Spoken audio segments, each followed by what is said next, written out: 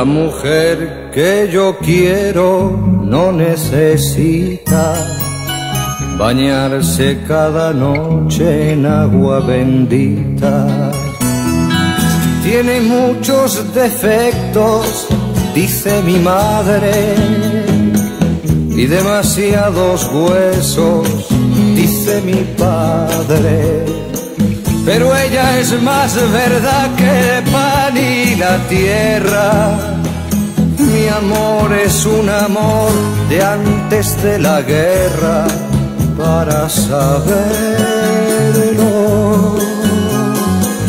La mujer que yo quiero no necesita deshojar cada noche una margarita.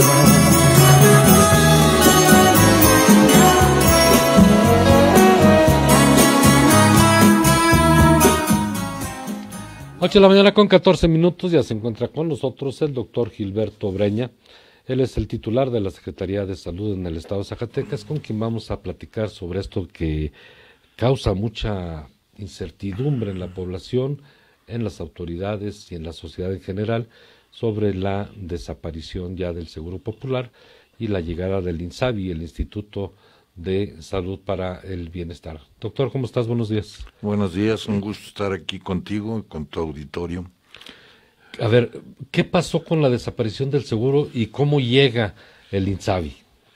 Bueno, mira, haciendo un poquito de historia, el Seguro Popular inició en 2002-2004.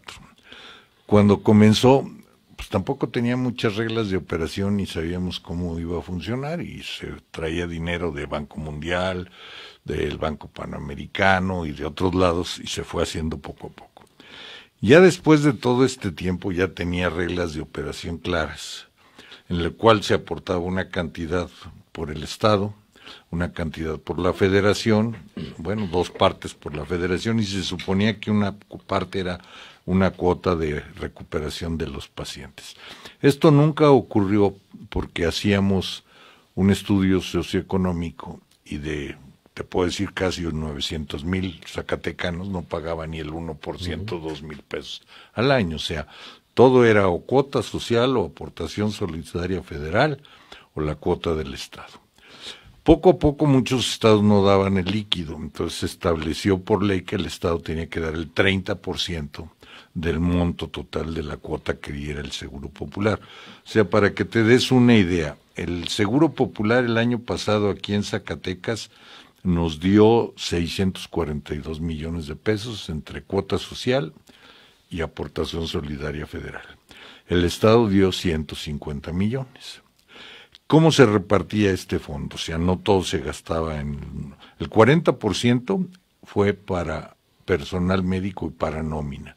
O sea, se hizo una regularización, se hizo una formalización a nivel federal y entonces de parte del Seguro Popular el 40% se usa para pagar la nómina de todo este personal que se basificó. De ahí tenemos que un 30%, que son cerca de 185 millones, se gasta en material de curación, medicamentos, osteosíntesis, mallas, stents para caso de los infartos. Tenemos otra proporción, un 20%, que son cerca de 128 millones, que son acciones de promoción y prevención. Ahí entran las vacunas, entra el programa de cáncer de la mujer, entra lo de mastografías, el de DICAM, todo lo de citología, o sea, toda esa parte de promoción y un 6%, que son cerca de 36 millones, se usaba para gasto de operación del REPS, del régimen estatal, donde se pegaba el personal administrativo, que son cerca de 160 agentes, 162, con eso se pagaba. Y quedaba un 4% que se utilizaba pues para pago de las unidades, luz, agua, alguna reparación que se tuviera que hacer. Adicionalmente, cuando existió el Fondo de Gastos Catastróficos, porque eso era, con ese dinero era lo que se cubría el cauces, que eran cerca de 680 intervenciones.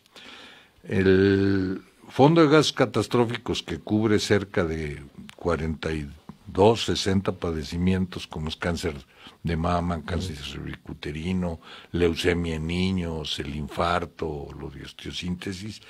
Ahí obtenemos nosotros por paciente, o sea, paciente que se diagnosticaba, se subía a una plataforma y nos llegaba un recurso para cubrir los gastos de eso.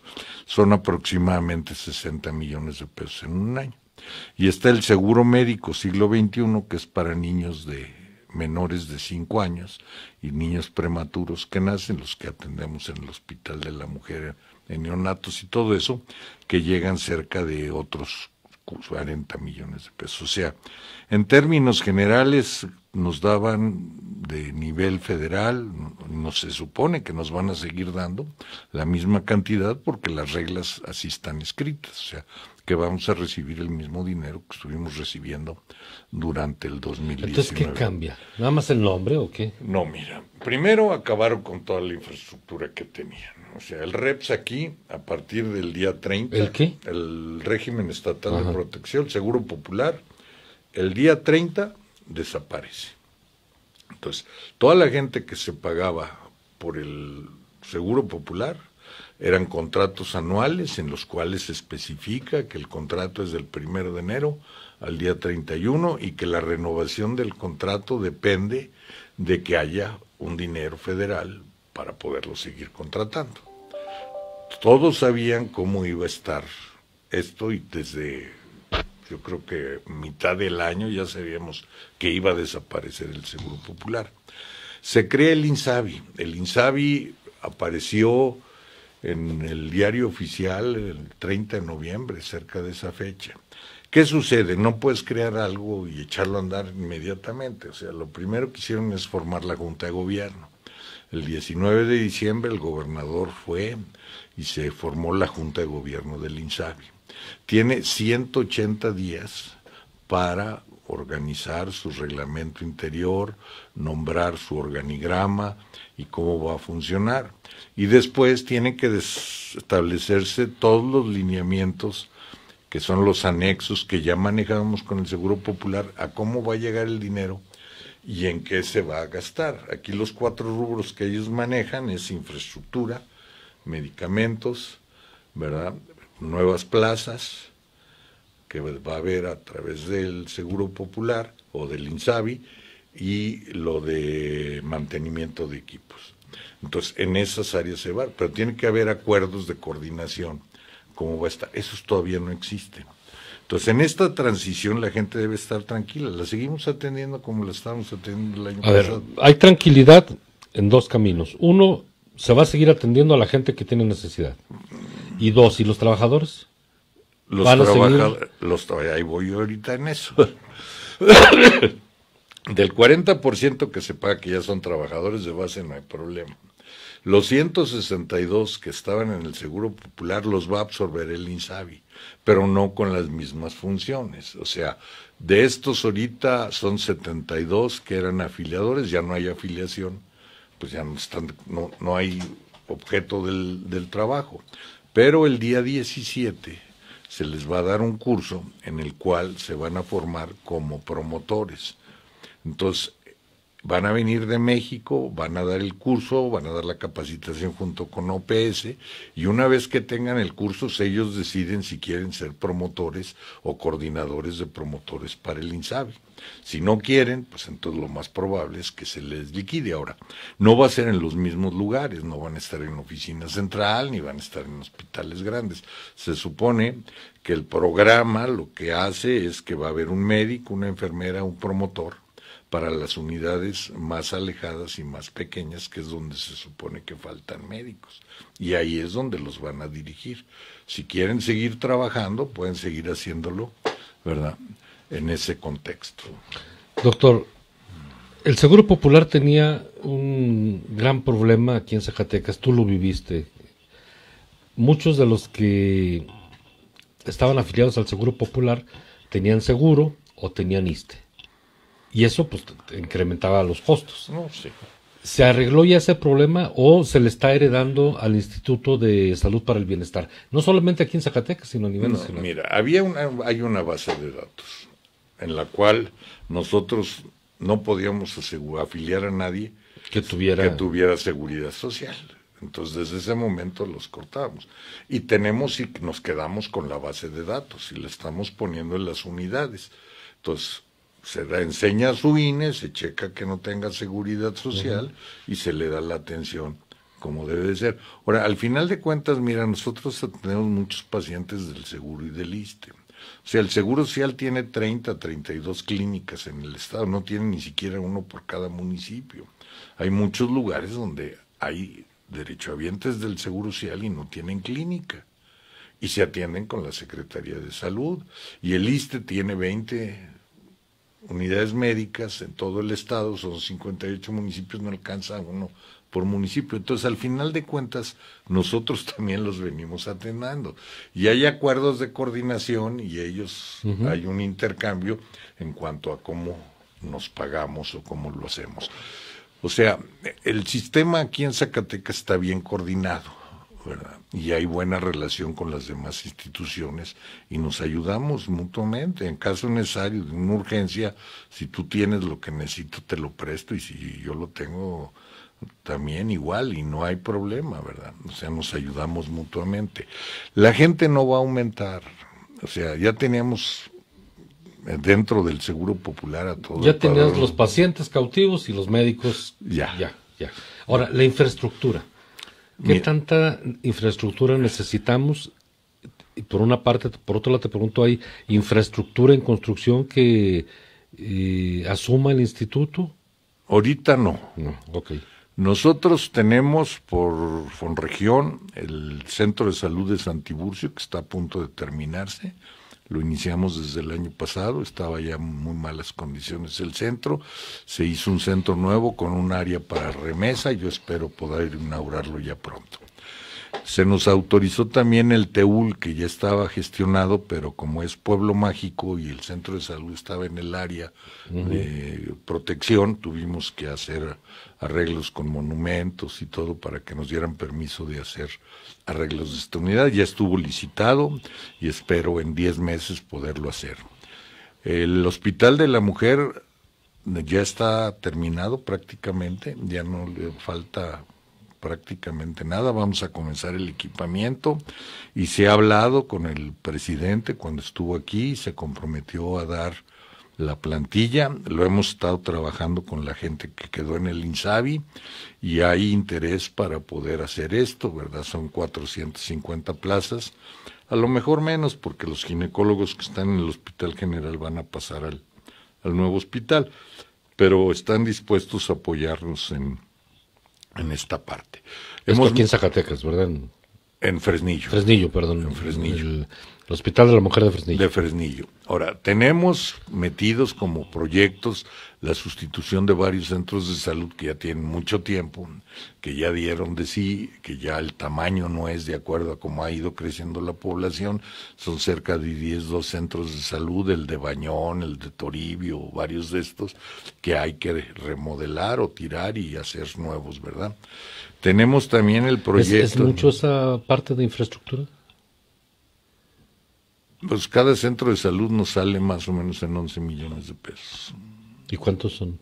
Pues como unos 10, 12, que son los más urgentes. Entonces, todo eso ya lo metimos, ya lo pusimos como requisitos. También el mantenimiento de infraestructura es carísimo. O sea, te decía el Hospital General, con su fachada de vidrio, que ya tiene 10 años, ya cada año se le da mantenimiento se aprietan, se le da a los tensores y todo, pero llega un momento en que los tensores ya no sirven. Ya, no sirven. Entonces va a haber que cambiar toda la fachada, ya está autorizada. Estamos trabajando con obras públicas para ver cómo podemos hacer para volver más firme y más rígida esa fachada, porque los vientos le dan de aquel sí, lado. Está muy bonito, pero es, es, es, un, es, una obra vistosa, pero poco útil. Sí, la entonces, fachada esa. Y eso nos va a salir cerca de 4 millones de pesos.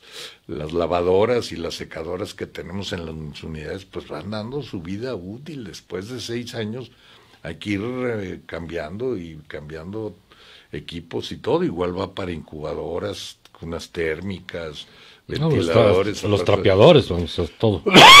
Entonces es un constante estar viendo cuáles son las prioridades y cómo vamos haciendo. ¿no? Oye, y en materia de medicamentos y de insumos médicos, ¿ya están normalizados Zacatecas? Mira, el material de curación el año pasado, que fue la licitación nacional a la que entramos, de 400 o 500 conceptos, nos dieron 160. Al final de cuentas llegaron 110 y llegaron casi a fin de año. Entonces nosotros fuimos comprando y licitamos todo lo que faltaba. El problema ¿Ese dinero con el que compras medicamento no te lo reponen? es que una parte del dinero está en la tesorería de la federación. Entonces, si ellos lo liberan, yo puedo usarlo desde acá y si no tengo que ver otra vía de financiamiento. Medicamentos el año pasado fuimos a la licitación porque tenemos terciarización en las farmacias. O sea, los hospitales generales, los centros de salud grande, los comunitarios, tienen farmacia subrogada en la cual la empresa tiene su personal, tiene sus refrigeradores, sus están, ellos surten y pagamos sobre receta que se surta, ¿verdad? En forma completa y tenemos un agente que está ahí vigilando las recetas que se dan y le hacemos el cruce con lo que se escribió en el expediente y tenemos registro de qué médicos recetan más, qué medicamentos son los que más se recetan y llevamos un control bastante aceptable. Ahorita está que fue la licitación nacional, parece ser que no se dio más que el 30% de lo de medicamentos.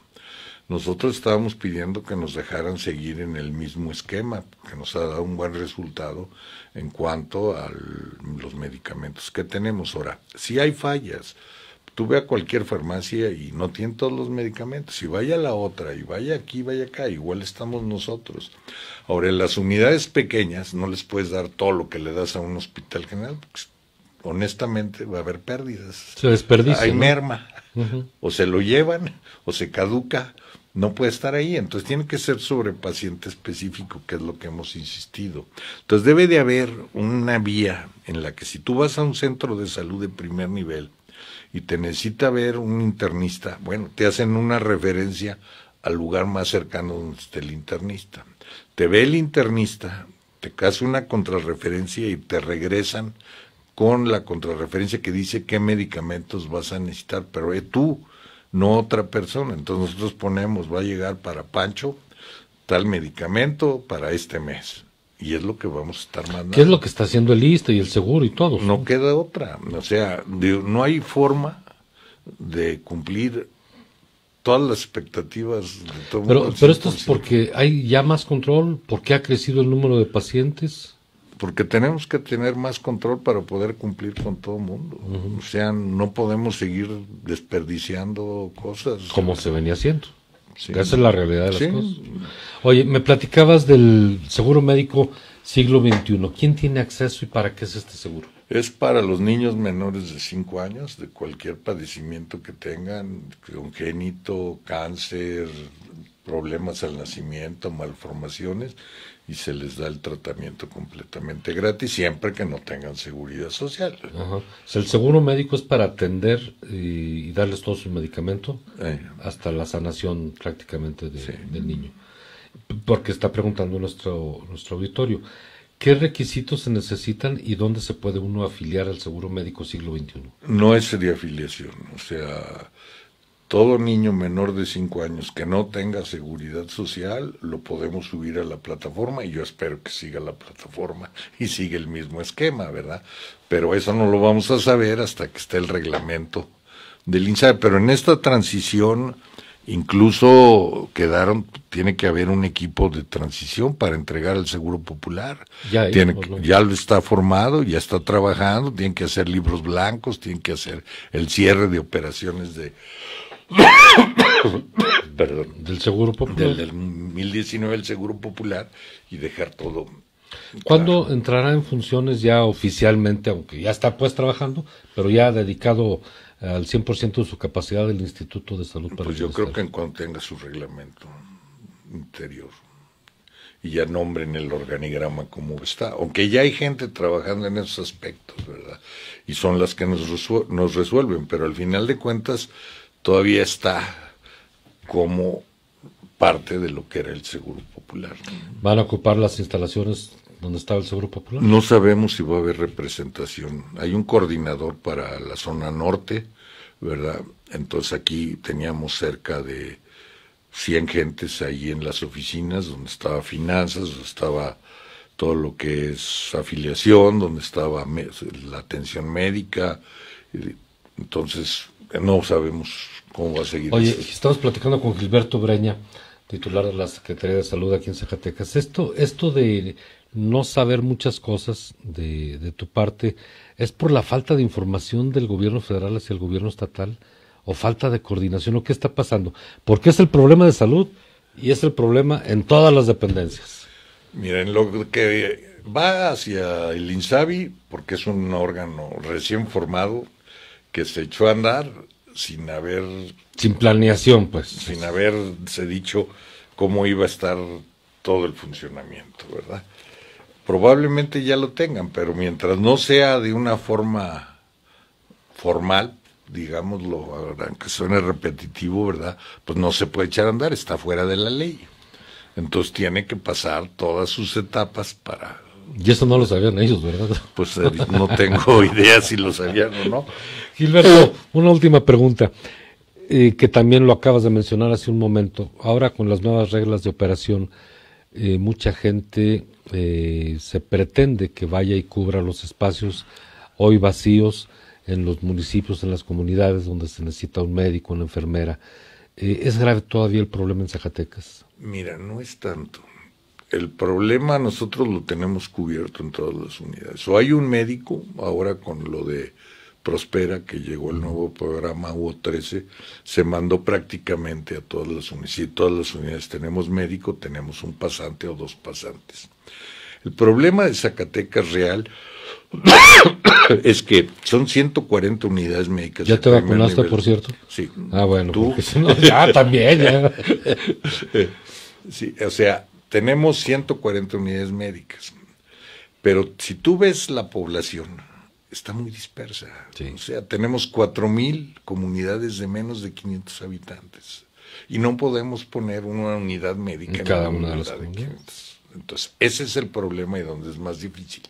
Tenemos 75 brigadas médicas que van a las diferentes comunidades y tenemos 800 casas de salud, las cuales hay un auxiliar de salud, que es la que hace la promoción, prepara para cuando vaya la brigada, y llega la brigada y da atención a esa comunidad, pero va una vez o a veces dos veces a la semana, las más grandes, pero sí es un problema la dispersión, o sea, hay comunidades que tienen 30, 40 gentes, entonces llevarles exactamente médico y tener un médico ahí permanentemente, permanentemente pues, no, no es posible, ¿verdad? Entonces ese es mucho del problema, la dispersión que tenemos.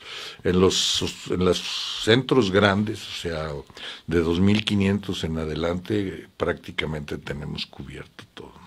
Muy bien. Gilberto, el panorama invernal va bien, va bien, va controlado. Pues mira, van seis casos de influenza.